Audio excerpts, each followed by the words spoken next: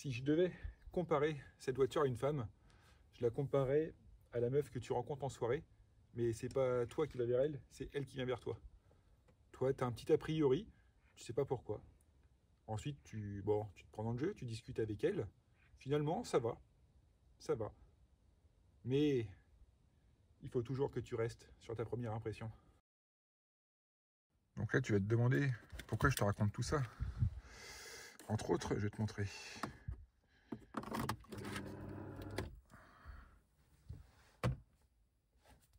Je n'ai plus de radio.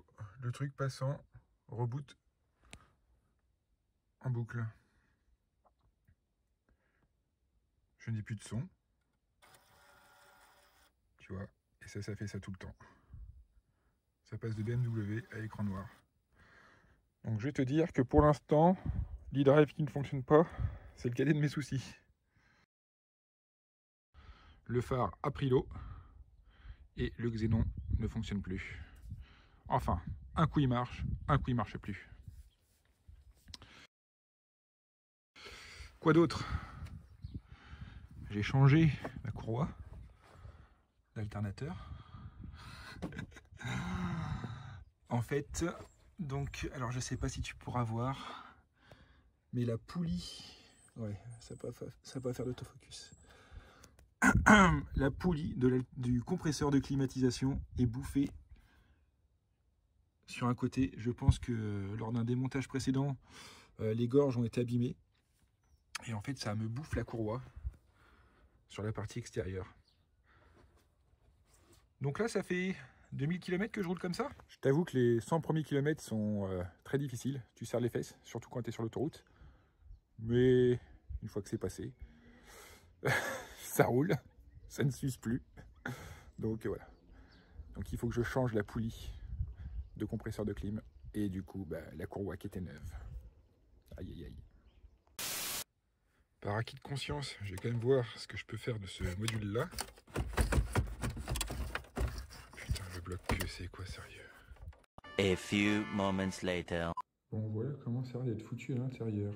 Pour l'instant, je vois à l'œil nu comme ça, je vois rien de, de cramé ou de... On dirait des barrettes de rame. Alors, j'ai réussi à enlever ce qu'on dirait une sorte de carte mère, je pense. Sauf que dedans, bah, en gros, euh, donc ça c'est le lecteur DVD. Euh, Et là, on dirait qu'il reste une sorte de carte ici, là. Mais ce qui est, c'est que tout a l'air nickel. Ça, sans mentir, je m'attendais à trouver une rangée de, de condensateurs ou euh, de trucs comme ça. Que je puisse tester, mais là, je ne vois rien de spécial. Tu vois, tout est... Tout est nickel, quoi. Enfin, à vue d'œil. Hein. Mhm. Alors, j'ai remonté, enfin, j'ai tout... Ah, j'ai tout démonté, tout nettoyé.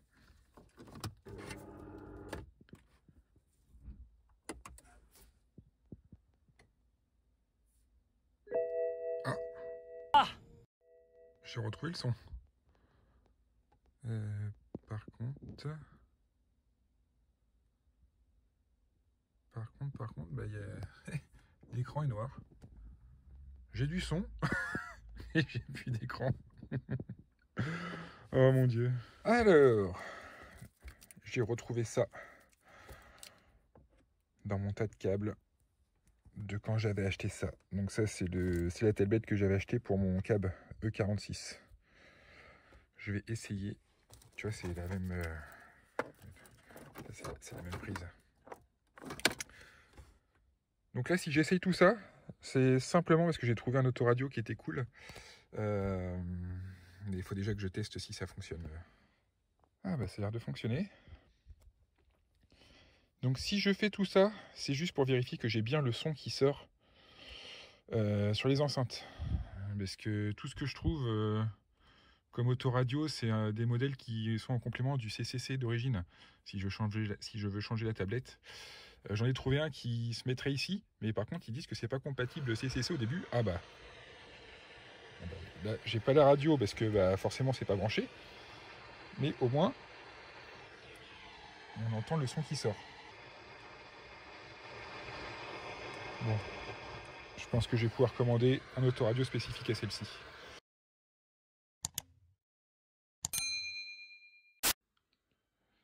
Je viens de refaire le joint. Je pense que c'est ça qui a prêché avant.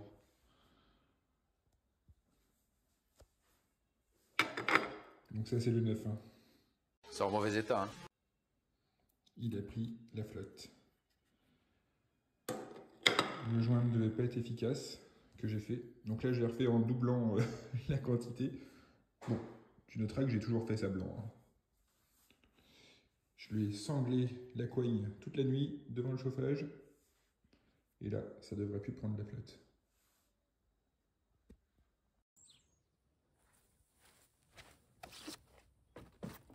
J'ai mis le ballast au four à 80 degrés pendant trois quarts d'heure, histoire de bien le faire sécher. Hop, bouge pas mon lapin, c'est toi qui vas me dire si ça fonctionne ou pas.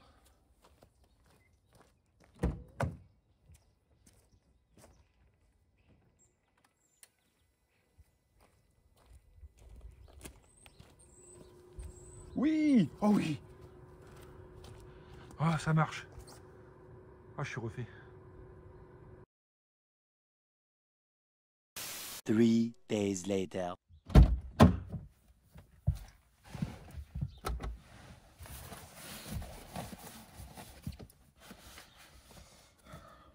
Autant rouler avec euh, une courroie d'accessoires euh, à demi HS ou euh, des pare-chocs à moitié peints ou cassés, ça me dérange pas. Autant rouler sans autoradio avec un diesel, là pour moi c'est très compliqué.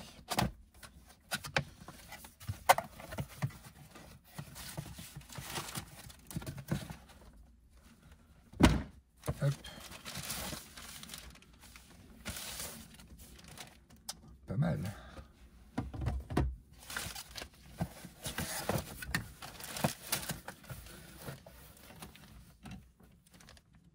Pas mal.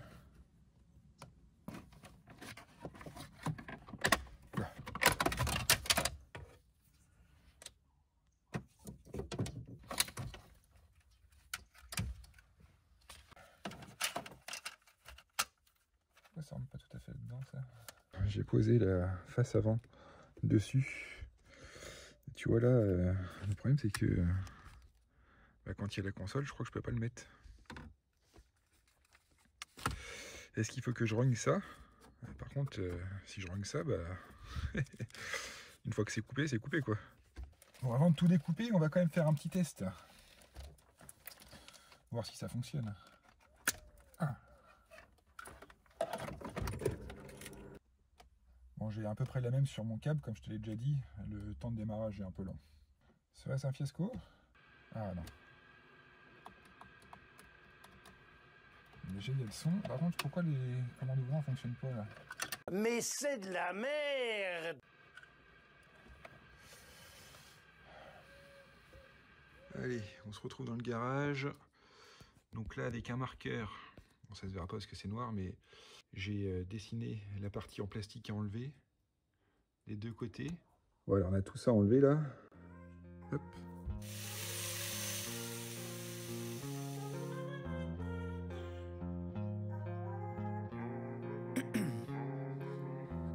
My veins, I've been driving this train. Years in this lane, there's no stopping this. Cause I came to the game and I changed it to play. How I like. Non mais est-ce qu'on peut euh, travailler tranquille, ma petite pouliche là? Tu... Ouais, t'es mignonne. Pousse-toi. Merci. On viendra faire un câlin après. Alors, voilà où j'en suis. Donc, euh, bon, euh, plus gameplay, plus gameplay, euh, c'est pas top top. Hein. Que j'ai fait par sécurité, tu vois, j'ai revissé par en dessous sur le support d'origine. Et euh, bah, la console de clim, elle rentre, attends, je me cale bien, elle rentre pas tout à fait. Donc j'ai dû poncer avec un petit papier de verre les côtés ici là, parce que sinon les boutons, restaient appuyés. Donc euh, ouais, c'est pas, pas top quoi. Donc j'ai limé un peu des deux côtés avec euh, du papier de verre. Euh, bah, j'ai mis des petites vis ici pour pas que ça se déboîte. Et derrière, bah, du coup, euh, bah, le support là, je peux pas le baisser à fond parce qu'il clipse pas. Donc euh, ce que j'ai fait, c'est que j'ai revissé une vis avec des rondelles là pour bien caler la, la console de clim pour pas qu'elle se barre. Voilà, voilà. Hop, voilà ce que ça donne une fois monté.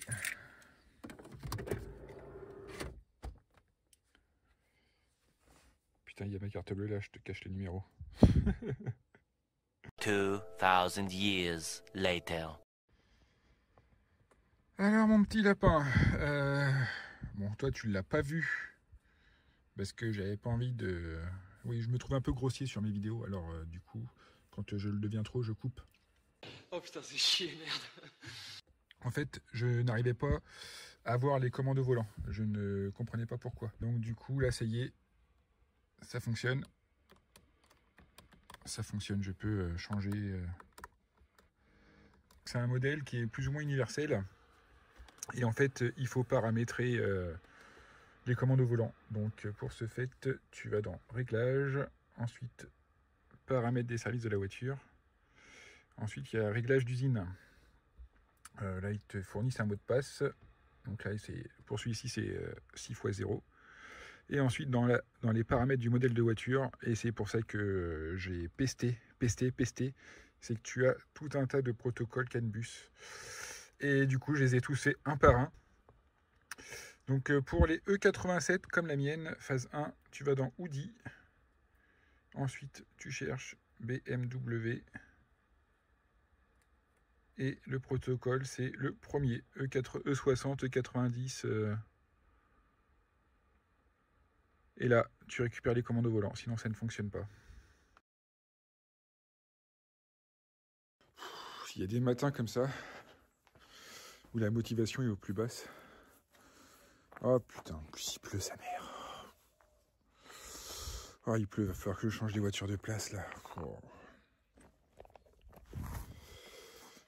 Quand l'obligation fait place à la passion, c'est là que ça devient le plus chiant en fait. Je sais pas si tu vois de quoi je parle. Aujourd'hui, il faut que je change mon Carlosta. Et surtout, ma poulie d'alternateur. Je sais déjà que je vais galérer, mais est-ce que j'ai pas les outils qu'il faut?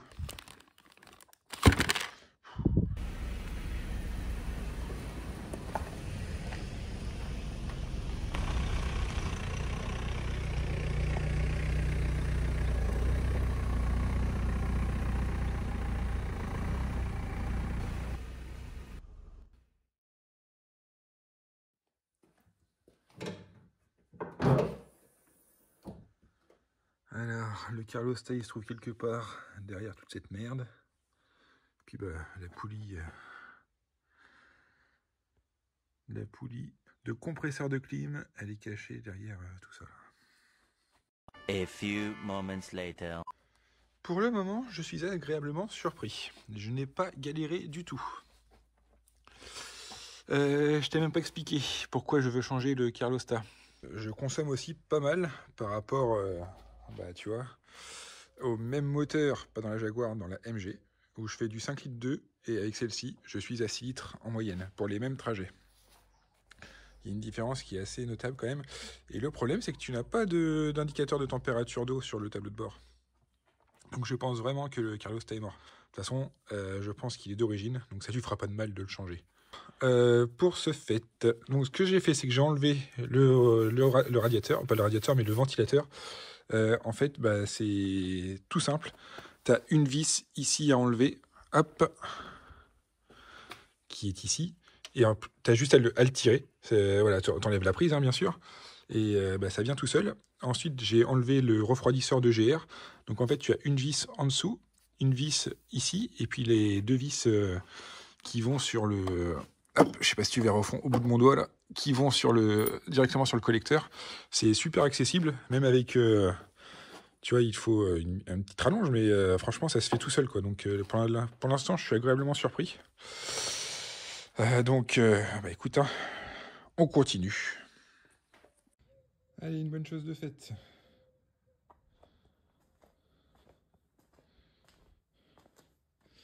Le neuf, le vieux. Il avait déjà été démonté, je pense, parce que il y a de la pâte à joint. Et Ridex, épaisseur de la rondelle. Origine, épaisseur de la rondelle. tu peux en mettre deux. Un autre petit avantage, c'est que tu peux tester le turbo. le mien n'a vraiment pas de jeu. Il est nickel. Pour un turbo d'origine, franchement, je viens de remonter toute la partie haut. Et par contre, je pense que je vais abandonner pour ma poulie de climatisation parce que j'arrive pas à l'enlever. J'ai pas l'outil qu'il faut.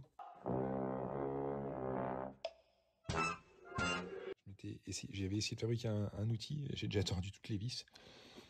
Donc avant de faire plus de merde, je suis en train d'abîmer les empreintes.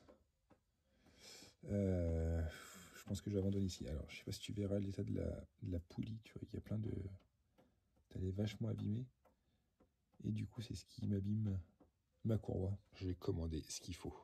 Parce que là, sinon, je vais y passer euh, la journée pour tout péter. Et le problème, c'est que j'ai besoin de la voiture. Bon, allez, je remets en eau quand même. Un petit test. Va avoir le droit à du vrai liquide de refroidissement cette fois-ci.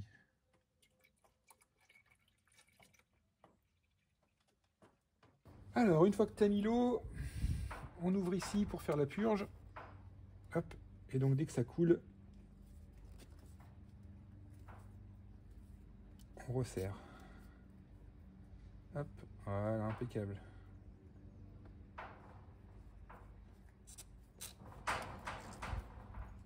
Hop.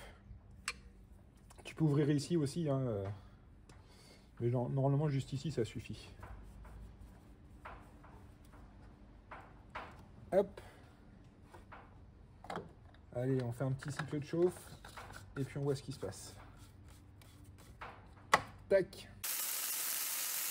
Alors, on vient de se taper le premier cycle de chauffe. Euh, ça, faut jamais l'ouvrir quand c'est chaud. Hein. Là, euh, j'ai fait tourner pendant 15-20 minutes. Bon, je t'ai pas filmé parce que bon, ça fait du bruit, ça sert à rien. Euh, après, je suis allé manger, donc là, c'est le temps de refroidir. Hein.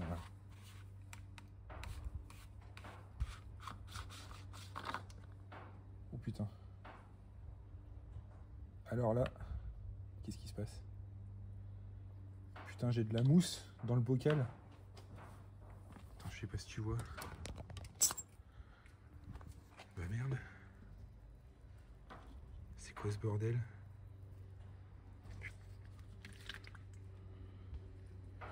J'ai fait la pointe avec ça. Oh non Putain, c'est pas possible. Oh le boulet Oh non, faut tout que je recommence. Putain, c'est pas possible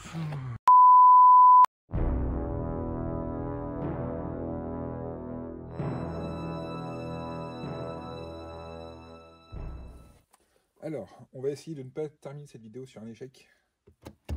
Un truc facile à faire. C'est ce qui me servait de bouchon d'essence.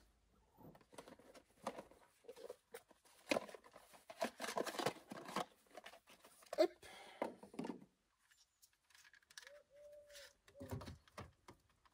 Ah oui, c'est mieux quand même.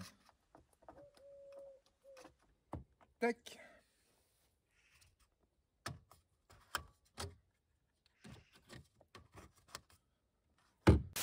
Dernier volidage avant qu'il fasse vraiment nuit.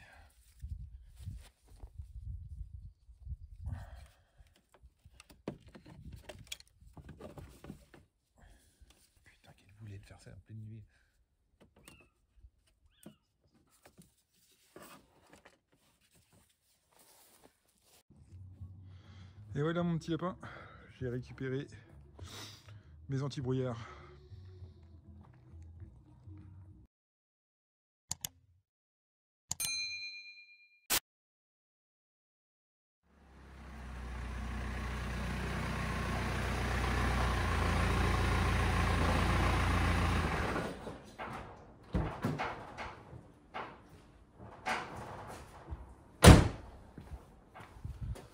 Bon, petit lapin, on est à peu près 10 jours après euh, les réparations de cette euh, voiture. Le phare, bah écoute, pour l'instant, ça fonctionne. Euh, bon là, il pleut et tout, ça prend, ça prend plus la flotte. Donc c'est plutôt cool.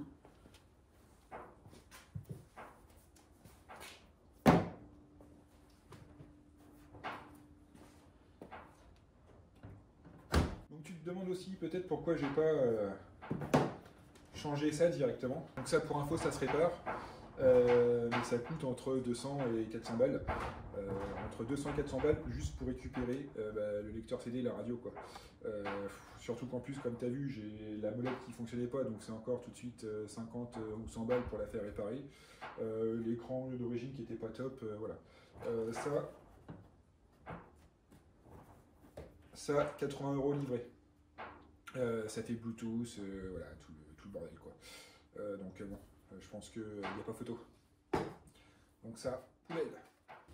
Concernant ma petite boulette sur le liquide de refroidissement, bon, comme j'étais bien saoulé, donc je t'ai pas tout refilmé, hein, je t'ai vu, je t'ai mis un petit, un petit mémo. Là, écoute, j'ai fait à peu près euh, 500 km depuis la boulette, ça mousse plus. Voilà, le rinçage a suffi, donc je suis rassuré. Bon, voilà pour cet épisode 2,5 qui n'était pas du tout prévu au programme. Euh, mais bon, entre les nouveaux défauts et puis mes boulettes, euh, je trouvais que ça méritait un petit, euh, un petit épisode supplémentaire pour te faire attendre les, les pare-chocs, la peinture des pare-chocs. Ciao